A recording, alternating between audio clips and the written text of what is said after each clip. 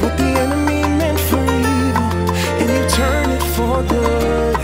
You turn it for good.